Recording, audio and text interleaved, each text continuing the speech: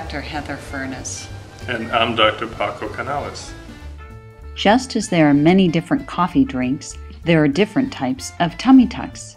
A tummy tuck or abdominoplasty is a catch all term that covers a variety of different procedures.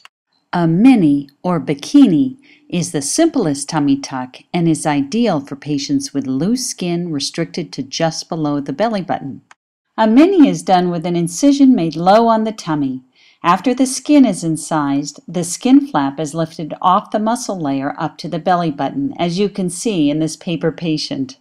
The skin is stretched until it is smoothed out, the extra skin is removed, and the incision is closed.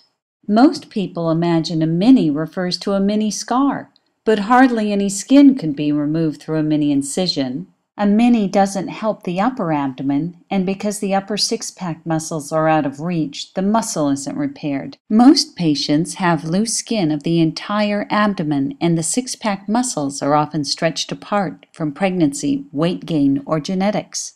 To address these issues, a standard abdominoplasty is done by making an incision low on the tummy as well as around the belly button. As with the mini, the skin flap is lifted, but by separating the belly button from the surrounding skin, the skin flap can be lifted all the way to the rib cage. Now the six-pack muscles can be sewn together to improve their efficiency to help support the back and, in thin patients, improve the abdominal contour. Next, the skin is pulled down. The standard abdominoplasty allows the lower tummy skin to be removed, while the upper tummy skin is smoothed out to cover the entire area.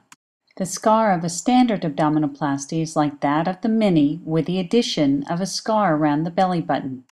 A tummy tuck that removes an apron of hanging skin is called a panniculectomy.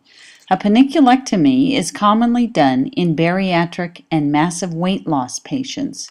Some patients come into our office with great hopes that we can make their round tummies flat. Unfortunately, if the tummy fat lies beneath the six pack muscles, that fatty tissue is out of our reach. Only the fatty tissue outside the abdominal muscles can be removed in a tummy tuck. If you are interested in a tummy tuck, Research your surgeon carefully. Physicians who aren't board certified by the American Board of Plastic Surgery are most likely to perform a mini or bikini abdominoplasty because it is the easiest to do, and only a small percentage of tummy tuck patients can expect good results from a mini.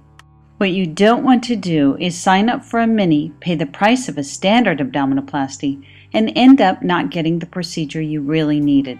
That's like ordering a double espresso with a lemon twist and getting a cup of instant coffee instead.